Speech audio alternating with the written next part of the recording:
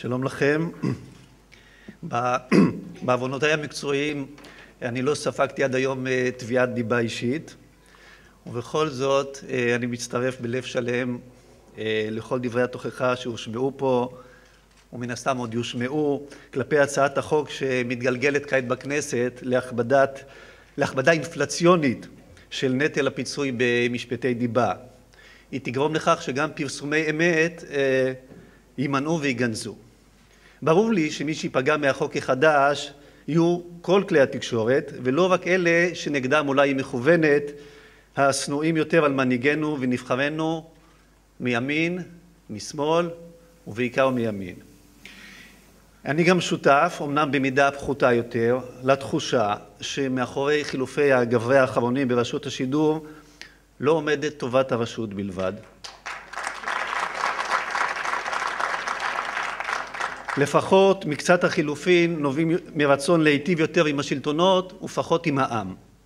ובכל זאת, לא הייתי ממהר להציג כל הדחה כמזימה אידיאולוגית ימנית, שהרי אידיאולוגיה היא לא הצד החזק של השלטון הזה, ממש לא.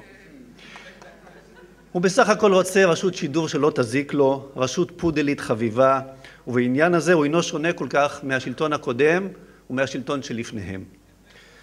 סביר להניח שגם ההתנהלות שלו בפרשת החובות של ערוץ 10 מונעת מרצון דומה, אם כי חובות צריך לשלם, חובות שמעוגנים בחקיקה. עבדתי פעם בערוץ רדיו שנסגר מפני שלא עמד בכל הדרישות הפורמליות של החוק, ואני עדיין זוכר את כאב הסגירה ואת התחושה המקוממת שסותמים לך את הפה בגלל דעותיך.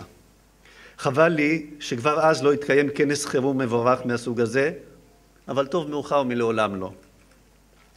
אם מותר לי, אני רק מבקש מהנוכחים פה, עמיתים ועמיתות יקרים וכואבים, לא להפוך את הכנס למכשיר ניגוח אופוזיציוני, שלא יקרה לו מה שכמעט קרה למחאה החברתית.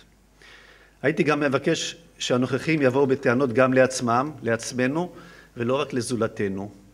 הרצון הימני לבוא עכשיו חשבון עם התקשורת הוא נובע מתחושת קיפוח ממושכת, לעניות דעתי תחושה מבוססת למדי.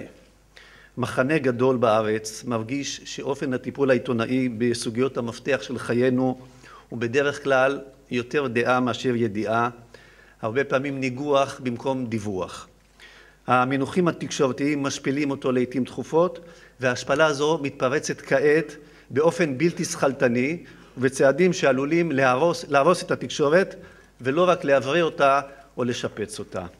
חשוב לי להדגיש, תקשורת חופשית משמעותה חופשית לא רק מלחצי פוליטיקאים, אלא גם חופשית מהטיות פוליטיות באשר הן. ובמשפט מסכם, אם תצא מכאן היום גם קריאה לחשבון נפש עצמי ולא רק זעקת גוואלד ותוכחה חיצונית, אולי המעמד הזה יהיה אחד הדברים הטובים ביותר שקרו לתקשורת הישראלית בשנים האחרונות, אמן כן יהי רצון.